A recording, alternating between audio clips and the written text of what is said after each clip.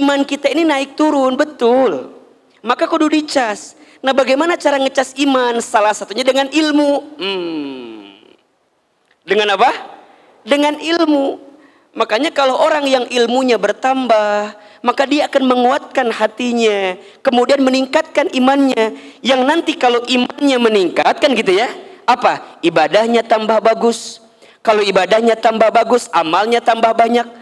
Kalau amalnya tambah banyak berarti ahlaknya makin indah karena ada ilmu. Belajarlah hidup sesuai dengan apa yang Allah mau, bukan dengan apa yang kita mau. Dan pertimbangannya adalah apa? Ridhonya Allah Subhanahu wa taala. Maka belajarlah mengembalikan segala sesuatu hanya ke Allah. Lihat indikatornya adalah indikatornya mana yang Allah sukai dan senangi. Karena hanya Allah ya Allah lah yang tidak akan pernah meninggalkan kita.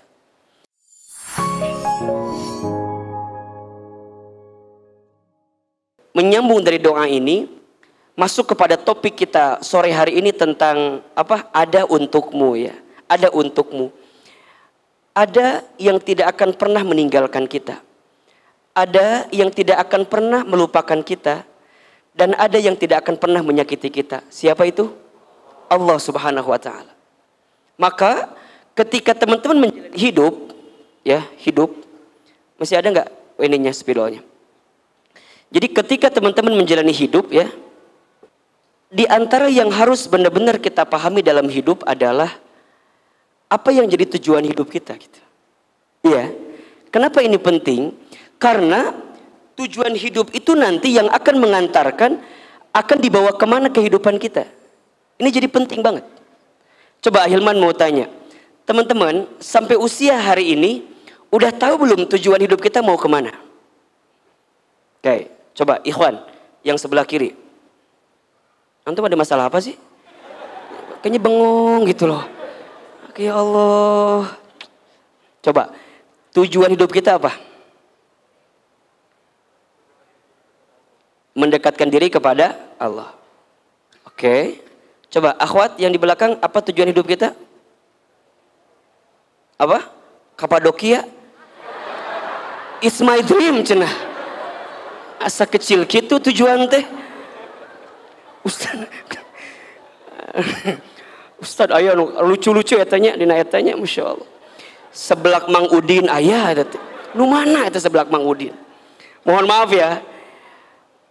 Tujuan kita itu bukan yang sifatnya dunia gitu ya. Terlalu kecil kalau tujuan kita hanya itu gitu. Nah orang beriman tuh punya tujuan hidup yang jelas. Apa? Ridho Allah. Apa namanya? Ridho Allah. Dan ini yang menjadi tujuan utama hidup kita. Kalau Allah sudah ridho dengan kita, maka kita mendapatkan apa pun dalam kehidupan kita. Jadi hari ini teman-teman ngaji, hari ini teman-teman ibadah yang lain, hari ini teman-teman hidup beraktivitas apa pun itu, yang teman-teman pengen apa? Ridhonya Allah. Dan ridhonya Allah ini melebihi apa pun. Bahkan sering kali kita menjawab kita ingin masuk surga gitu ya. Surga itu ya akan bisa kita dapatkan ketika kita mendapatkan ridhonya Allah. Maka yang namanya ridho Allah itu lebih tinggi daripada surga sendiri pun. Coba dibuka surat At-Taubah ayat 72. Surat apa? At-Taubah ayat 72. Akhirnya Arya sini. Di sini. Nah. Oke, silakan dibaca. Teman-teman yang di YouTube, terima kasih sudah menyaksikan tayangan kami sore ini. Mudah-mudahan sehat selalu ya. Mudah-mudahan Allah berikan keberkahan. Ya, surat At-Taubah ayat 72. Silahkan. أعوذ بالله من الشيطان الرجيم وعد الله المؤمنين والمؤمنات جنات تجري من تحتها الأنهار تجري من تحتها الأنهار خالدين فيها ومساكن طيبة في جنات عدن ورضوان من الله أكبر. ذلك هو الفوز العظيم. Allah menjanjikan kepada orang-orang mukmin laki-laki dan perempuan akan mendapat surga yang mengalir di bawahnya sungai-sungai. Mereka kekal di dalamnya dan mendapat tempat yang baik di surga Aden. Dan keriduan Allah lebih besar. Itulah kemenangan yang agung. Perhatikan teman-teman ya. Perhatikan di sini Allah sampaikan kepada kita ya bahwa ada janji yang Allah siapkan untuk siapa Ahilman? Untuk orang-orang yang beriman. Maka ketika teman-teman hidup, ya pernah Ahilman bahas di pertemuan sebelumnya, ada dua hal yang tidak boleh teman-teman lupakan, tinggalkan, dan tidak boleh teman-teman hilangkan dalam hidup. Karena dua hal inilah yang akan mengangkat derajat kita. Apa itu? Yang pertama iman, yang kedua apa? Ilmu. Ya, pernah Hilman bahas di pekan-pekan sebelumnya tuh. Jadi ada dua hal yang akan menjadikan kita diangkat derajatnya, dimuliakan hidupnya. Apa? Iman dan ilmu. Makin meningkat imannya, bertambah ilmunya, maka Allah muliakan hidupnya. Surat Al-Mujadilah ayat 11 yarfa'illahu alladhina amanu minkum walladhina utul ilma darajat. Allah akan mengangkat siapa? Orang beriman di antara kamu sekalian dan orang yang berilmu di antara kamu sekalian. Dengan apa? Darajat beberapa derajat. Jadi kalau sekarang teman-teman punten mohon maaf ya, sedang terpuruk, sedang down, sedang sulit, sedang terhimpit, maka tidak ada jalan terbaik yang bisa kita tempuh kecuali dengan meningkatkan iman dan menambah ilmu kita. Maka teman-teman datang ke tempat ini, ngaji di sini, ikut kajian di sini, niatnya apa? Ahilman, aku pengen ngecas iman aku, aku pengen ngecas hatiku. Karena iman itu kan sifatnya naik turun kan? Al imanu yazidu wayan kusu. Iman itu naik turun. Al imanu yazidu bitta'ah. Iman itu naik dengan ketaatan. Wal imanu yanqusu maksiat. Iman itu turun dengan kemaksiatan. Coba Ahilman tanya, tolong jawab. Teman-teman yang di sini, kalau boleh kita hitung, lebih banyak amal soleh atau amal salah? Lebih banyak taat atau maksiat? Lebih banyak hal yang baik atau hal yang buruk? Lebih banyak pahala atau dosa? Nah, kita sadar dengan itu. Kalau kita sadar dengan itu berarti butuh dicaskan, butuh diingetin kan. Ibaratnya handphone, ada baterainya, ya. Kalau baterainya low bed, apa yang perlu kita lakukan? Cas, betul. Sekarang lebih bagus mana? Ngecas baterai itu pas baterainya lagi low bed atau pas udah habis banget? Bagusan yang mana? Jangan nunggu habis kan. Kalau udah tahu lobet, kalau udah tahu lagi nggak stabil, kalau udah tahu bahwa ahilman ini ada persoalan nih, ini ada masalah nih, ini ada sesuatu yang tidak menenangkan perasaan saya nih, buru-buru dicas. Kalau nggak dicas, teman-teman akan tenggelam pada sesuatu yang nauzubillahimin dalik menjadikan kita frustasi, depresi, stres, bahkan ada penyakit namanya skizofrenia. Apa itu penyakitnya? Sedih berlebihan, marah berlebihan, takut berlebihan, pokoknya semua hal-hal yang negatif berlebihan. Kalau kita punya sikap begitu, nanti ujungnya apa? Makhluk lain masuk dengan kita. Iprit masuk, jin masuk, mereka senang dengan sikap-sikap yang menjauhkan kita dari perasaan tenang kepada Allah Subhanahu wa taala. Maka jangan kaget ada yang depresi, stres, putus asa, betul? Ujungnya jadi ke mana-mana Tiba-tiba nyewa boneka. Ini boneka bisa kan jadi ternyambung kan? Nah, ini kenapa bisa terjadi? Ada krisis. Krisis pada apa nih? Pada iman ini gitu. Yang harusnya diingetin gitu loh. Jelas sampai di sini kira-kira? Jelas? Iman kita ini naik turun, betul. Maka kudu dicas. Nah bagaimana cara ngecas iman? Salah satunya dengan ilmu. Hmm. Dengan apa? Dengan ilmu. Makanya kalau orang yang ilmunya bertambah, maka dia akan menguatkan hatinya, kemudian meningkatkan imannya.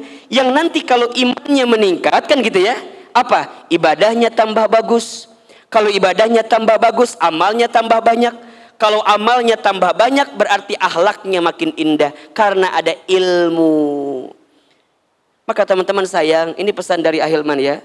Kalau nanti teman-teman berumah tangga, pesan dari saya kalau teman-teman ingin ditinggikan derajat rumah tangganya, tingkatkan iman, tambahkan ilmu.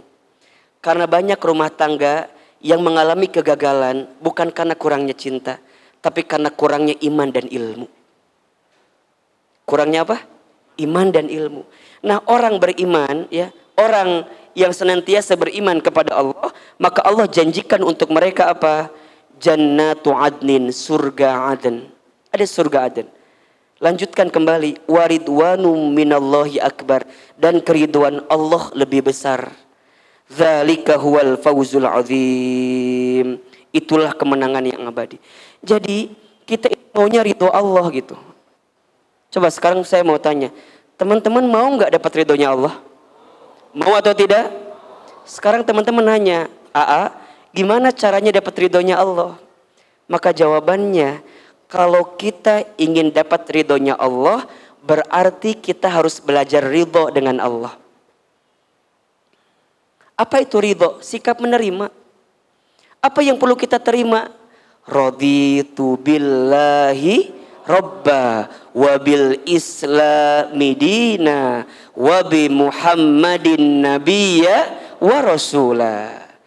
Ya Allah, aku ridho. Engkau adalah Tuhanku Ya Allah, aku ridho Islam adalah agamaku.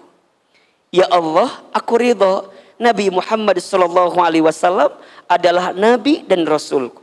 Kan gitu? Jadi kita kudu ridho. Berarti kalau ridho di sini gimana Ustaz? Berarti kita ridho perintah Allah. Kalau Allah memerintahkan sesuatu ya kita kerjakan. Karena bukti ketaatan kita bentuk ridhonya kita kepada siapa? Allah. Allah melarang kita sesuatu, maka kita tinggalkan. Ini bentuk ridhonya kita kepada Allah. Jelas sampai di sini? Jelas? Jadi kalau teman-teman ingin mendapatkan arah hidup yang baik, ingat ya. Saat teman-teman tahu tujuan hidupnya. Apa tujuan hidup kita? Ridho Allah. Kalau Allah sudah ridho, Masya Allah, dibuka semuanya. Nah sekarang bagaimana caranya Allah ridho sama kita?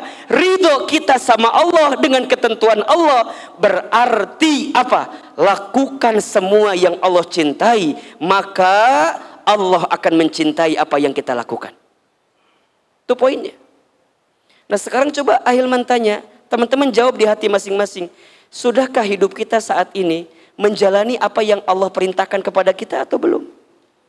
Apakah kita masih hobi menjalankan apa yang Allah larang dalam hidup kita atau belum? Nah itu, ini yang harus kita kuatkan di sini.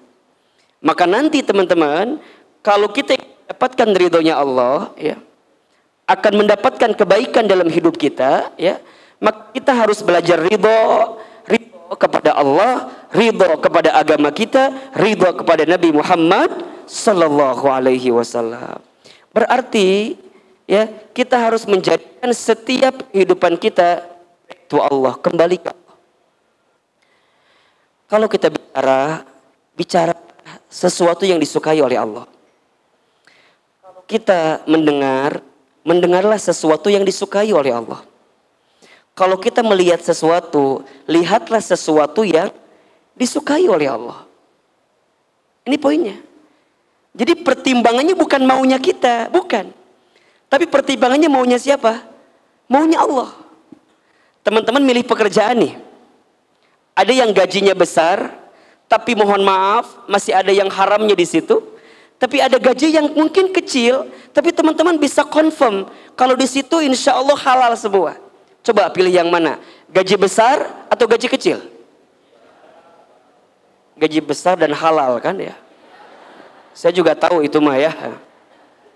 Tapi kalau ada pertimbangan gitu kan. Nah kadang-kadang kan pertimbangan kita maunya kita. Udahlah Ustadz pokoknya ini. Ini bagusnya menurut kita. Jangan menurut kita. Kalau menurut kita pasti kita bertemu dengan titik batas. daripada apa yang kita harapkan. Tapi kalau maunya Allah, yang kita kejar ridhonya Allah, maka kita akan mendapatkan apa pun yang kita inginkan itu.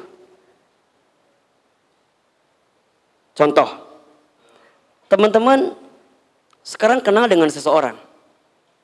Teman-teman tahu ini hubungan gak baik karena ini e, belum halal, tapi kita sudah menjalankan hubungan yang seharusnya belum kita lakukan. Ini kan pertimbangannya berat nih. Satu sisi hati nggak bisa bohong, logika kita berpikir ini salah, betul. Terus gimana caranya? Udah cuma dua pilihannya. Lanjutkan, tinggalkan. Lanjutkan berarti masuk pada jenjang pernikahan, kan begitu? Selesaikan kalau tidak. Kenapa? Karena kalau kita terus menerus berjalan dalam keadaan yang seperti itu, maka boleh jadi bukan kebahagiaan yang kita akan dapatkan. Makanya teman-teman belajarlah hidup sesuai dengan apa yang Allah mau, bukan dengan apa yang kita mau. Dan pertimbangannya adalah apa? Ridhonya Allah Subhanahu wa taala. Maka belajarlah mengembalikan segala sesuatu hanya ke Allah. Lihat indikatornya adalah indikatornya mana yang Allah sukai dan senangi. Karena hanya Allah ya Allah lah yang tidak akan pernah meninggalkan kita. Manusia ada capeknya, ada lelahnya, betul? Harta ada habisnya. Pangkat jabatan ada pensiunnya. Betul? Semakin teman-teman berharap pada sesuatu yang tidak seharusnya dijadikan harapan, maka teman-teman akan sakit sesakit-sakitnya. Belajarlah mengembalikan segala sesuatu kepada Allah. Karena Allah lah yang tidak akan pernah meninggalkan kita. Ustadz, Apakah Allah itu dekat dengan kita? Sangat dekat. Surat Al-Baqarah ayat 186. Coba dibuka. Surat apa? Al-Baqarah ayat 186. Auzubillahi minasyaitonir rajim. Bismillahirrahmanirrahim. Wa idza sa'alaka ibadi anni fa inni qarib ujibu da'watad da'i idza da'an falyastajibu li wal yu'minu bi la'allahum yarshudun perhatikan terjemahannya wa idza sa'alaka ibadi anni fa inni qarib kata Allah dan jika kamu bertanya di mana Allah itu Katakan, fa inni qarib. Aku ini dekat. Allah itu sangat dekat. Sangat dekat. Bahkan Allah lebih dekat daripada urat nadi kita. Barang siapa yang mendekati Allah dengan berjalan, maka Allah sudah mendekati kita dengan berlari. Siapa yang ingat Allah dalam pikirannya, Allah sudah ada dalam denyut nadinya. Allah sangat dekat dengan kita. Kemudian apa yang Allah minta sama kita? Kalau engkau merasa Allah itu dekat. Wa idza sa'alaka ibadi anni fa inni qarib ujibu da'watad da'i idza da'an. Lihat, ujibu da'watad da'i idza da'an. Aku akan menjawab setiap permintaan, permohonan hambaku jika hambaku meminta kepadaku.